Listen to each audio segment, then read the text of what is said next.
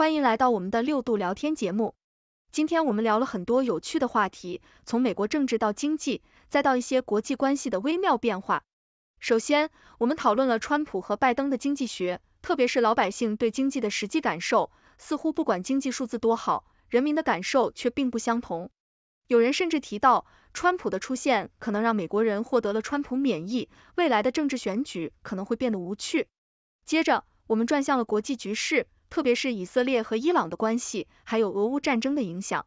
对于这些问题，大家都有不同的看法。有人认为以色列的反应相对温和，这让人感到意外。还有关于殖民主义的讨论。指出这些历史背景如何影响到当今的国际政治，特别是在中印和印巴的冲突中。最后，我们也谈到了中国的经济政策和国际市场的动向，特别是人民银行的最新措施。大家对未来的经济环境充满期待，也有人对可能出现的变化感到忧虑。整场对话充满了幽默感和智慧，让我们在轻松的氛围中深入探讨了这些重大议题。请大家继续收看详细内容。实业说系统在不断完善。Simon 说川的亲儿子也不少，更何况还刚认了一个干的。实业说已经有中文、英文简。Bill 下划线称说，对，老百姓是务实的。美国的经济数字很好，人民实际感受未必。Simon 说也可以解释成美国开始搞不定世界了。丽说喜极而泣，都还嫩的一掐就出水。实业说，拜登经济学的最大失误是老百姓感觉很差。川普经济学现在也饱受质疑，但是比哈里斯有吸引力。他基本上是冷战思维。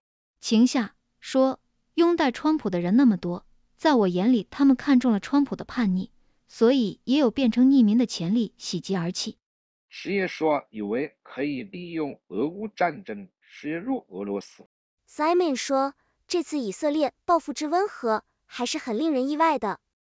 实业说，老百姓很老实呢，以色列、伊朗都走了正确的一步。Simon 说，这要是以前，以色列哪肯就这么了事？实业说，他不是审判你，他是艺术家，硅谷看中他可以做交易。程大厨说，取消所得税，全部用关税代替，用四年做一个全国性的经济实验。以后，董王不光能得诺贝尔和平奖，还能拿诺贝尔经济奖。Roll flow。晴夏说，川普的出现，破路或是加剧了衰败。未来没有川普的常人总统候选人的选举都会太无趣了。实业说也未必，人的选择是周期性的。Simon 说，更大的可能是美国人从此获得了川普免疫。丽说，最先应获奥斯卡。比仰望星空流眼泪强了很多档次，临场发挥能力无与伦比。实业说，克林顿新闻时，我出海勾鱼，同船的几位老白叔说，那证明克林顿还有用。这种话是绝对不能上台面的。但是酒吧里的老白叔就是这样说的。肯尼迪一塌糊涂，老百姓还说他有魅力。美国老百姓比较朴实，相比之下，欧洲政客可能就完蛋了。我所见到老白书多是朴实善良的顺民，什么动不动就举枪反抗政府，那是文化人的幻觉。像滨州很多爱尔兰、德国、意大利人移民后代，就是换个地方讨生活，不想惹事。他们很多年轻人都不敢到曼尔顿玩。晴夏说：“我印象中四年前他刚落选时，感觉真好，背景里各种媒体再没有由他而起的刺耳的喧闹。”安静多了，结果四年后，眼看着又一轮的抽风即将开始了，脚粪堆棍蓄势待发，世界又该一惊一乍了，嚎啕大哭。天线说，晴姐也挺好的，我作为风险厌恶型人格，对变化还是挺期待的。十一说，两年的结果也很关键。Simon 说，其实肯尼迪在这方面跟克林顿也差不多，如果不是更甚的话，死的太早太急，留下的就都变成美好了。天森说，这两天我也是仰望星空，喝了二两。我觉得人类整体还是有个大框架的，现在的科技条件，颠覆性的变化可能性不大，至少再折腾也不用回去打猎了。实际说，最大的变化还是人的认知非常错乱，每个人装满了虚假消息。天森说，崔健的歌词，不是我不明白，世界变化快。小机灵说：“我们一个教平权、资本主义思政课的教授，女的，上来就说我来自英殖民地香港，一言以蔽之，就是茶里茶气。”晴夏说：“我老了，你还是能享受过山车的年纪。”带冷汗的笑。天线说：“历史故事害了太多人。”实业说：“以前了解人心的范围非常小，现在打开社交媒体。”基本上是坏人。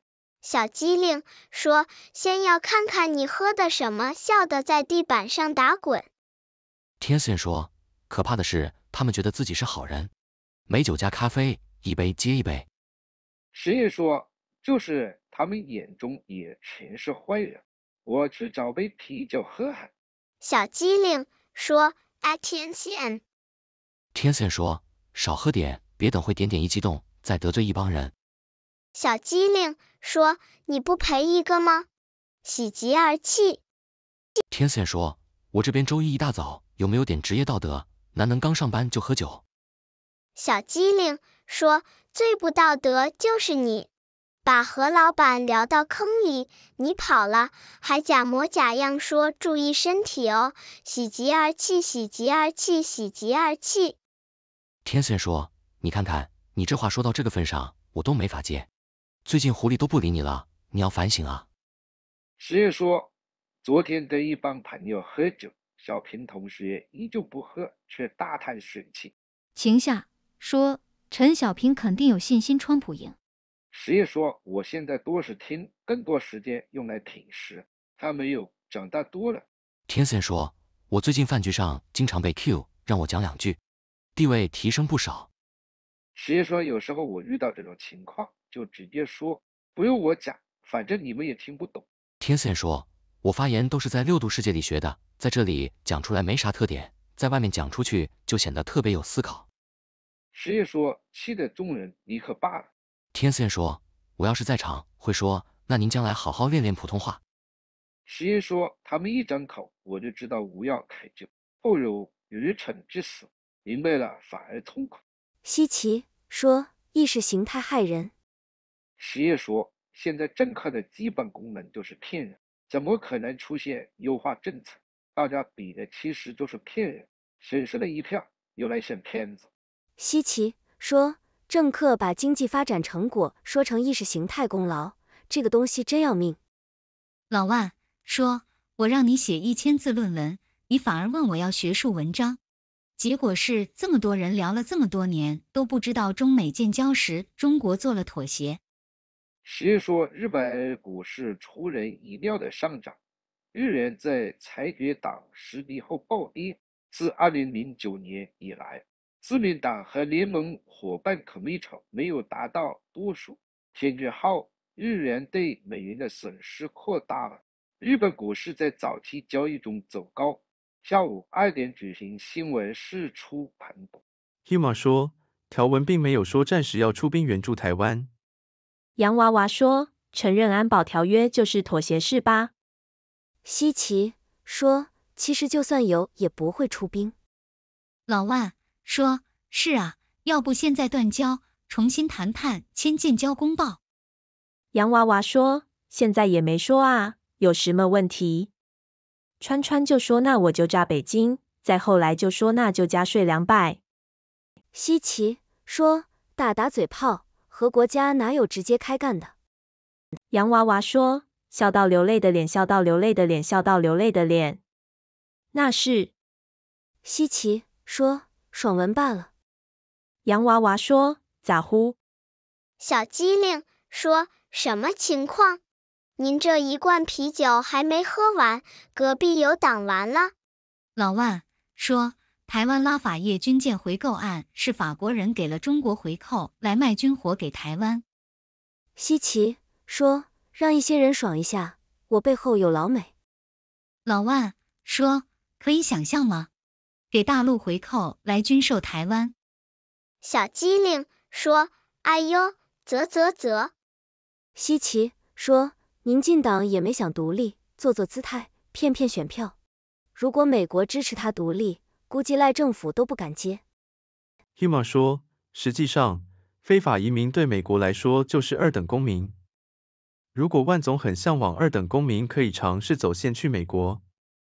如果想去，得抓紧时间。大选过后想去美国可就没那么容易了。西奇说，川川说都要赶走，想做都难。现在讲师混得不错，从打野到住双人套间了，有管十万粉丝。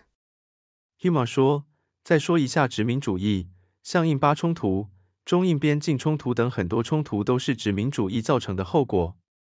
洋娃娃说，万总对伟大祖国有意见，不就是批评他爸爸吗？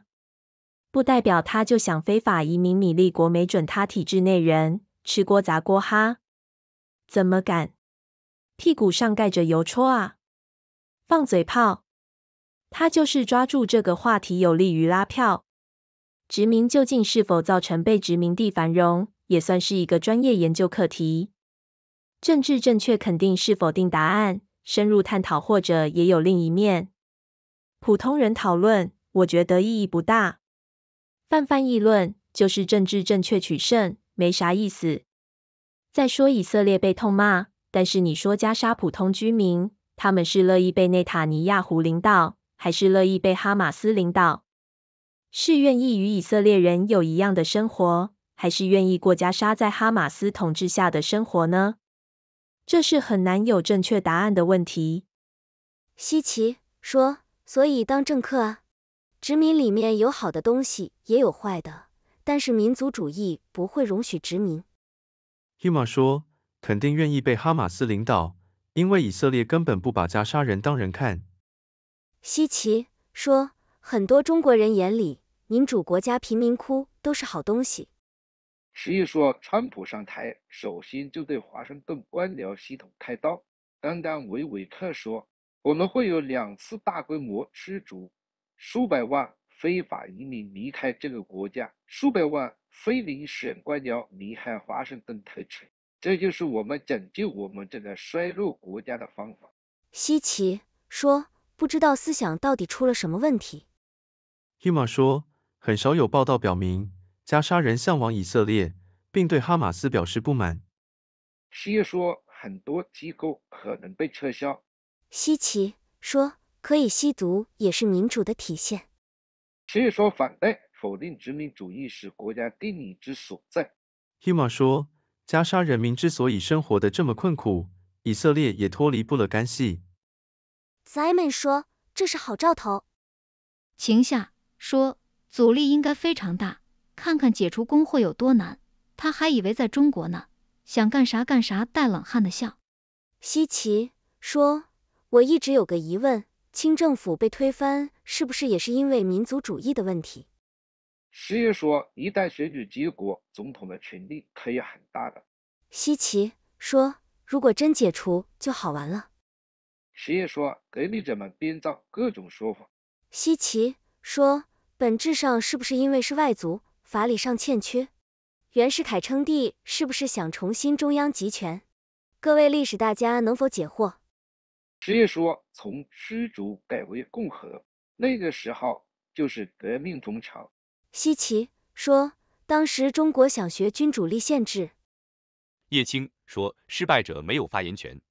实际上，当时袁世凯的考虑更符合中国当时的国情。西岐说，现在的历史把太多东西污名化了，包括现在中国的变化。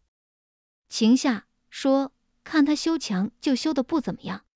他要做长期来看立国，但是短期会损自己国民、公务员的事情未必能干成，至少幅度没法像他想象的那么剧烈。相信他要出台欺负其他国家的政令，应该能干成，而不会有阻力。叶青说何必认真？川普说修墙纯粹是为了选票，实际也证明了川普当选后对修墙也是三心二意的。Simon 说。日本看来一时半会是走不出股汇背离的循环了，还好绝大部分负债都是日元结算。叶青说，股汇分离的大背景是外资套利。实业说，中国央行正在扩大其货币政策工具包，以更好地处理金融体系的流动性，因为它寻求增加更多杠杆来微调经济。根据周一的一份宣告，中国人民银行将每月与主要交易商。签订所谓的直接反向回购协议，期限不超过一年。中国人民银行表示，此举旨在保持银行系统的合理流动，并丰富其货币政策工具包。回购是货币市场中使用的一种短期借款形式，实体购买证券并同意在特定日期将其出售。中国人民银行表示，这里的证券将包括主权债券、地方政府票据和公司债务。央行一直在改革 TAPS。啊，Com News articles 2024 630 why China as central bank could become more like the US Federal Reserve 其政策框架。这可能会使其更像全球同行一样运作，并更有效地影响市场借款成本。还一直在淡化中期贷款机制作为关键利率的作用，同时过渡到使用七天反向回购 TAPS。But Bloomberg com co PBOC 7P 作为主要政策杠杆，以传递更清晰的讯号。新业务可能会介于两者之间。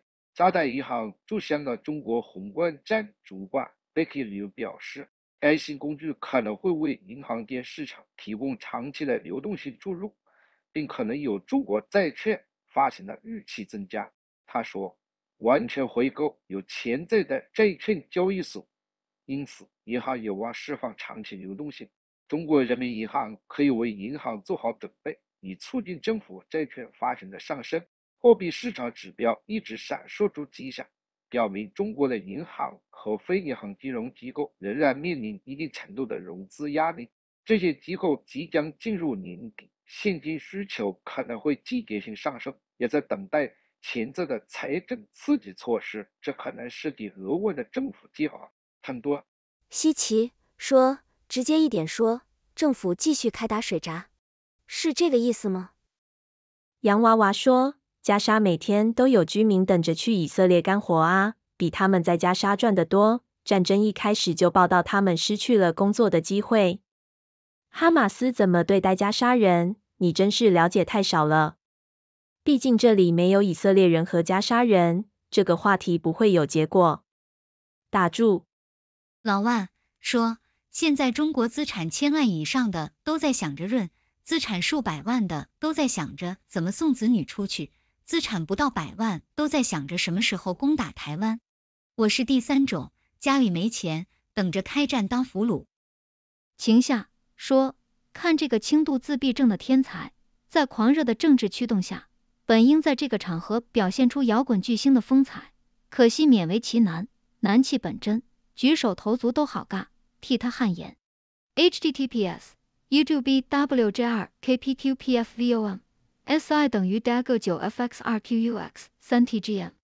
小机灵说，那也未必。川大爷上周二的节目说的都是大白话，效果拉满。他这回真选上了，还在乎那许多干嘛？反正也没可能连任了，干就完了，喜极而泣。Bill 下划线 Chen 说，复议老何的观点，赞一个。二十世纪第三世界国家正是掀起了反对殖民主义的运动，才建立起大批的民族国家，这是他们国家建构的基础。当然，在教育国民上要反对殖民主义列强，主要就是那些个。近来，西藏和新疆的变化十分明显。我上次推荐的随水文存公众号有大量一手照片和实地探访记录。当代中国政府是两手都抓的，经济上给足政策和福利。政治上坚决防止边疆民族主义抬头，用多元一体、开放包容的国家认同策略来推进这些行动，效果很明显。